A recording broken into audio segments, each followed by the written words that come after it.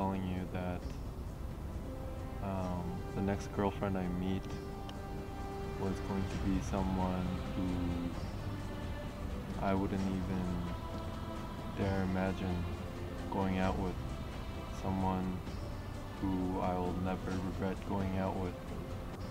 And I also said that you were that girl in every way in every aspect. And now it's been more than a year and a half. And I wanted to pop the question. So I'm asking you now will you marry me? Yes.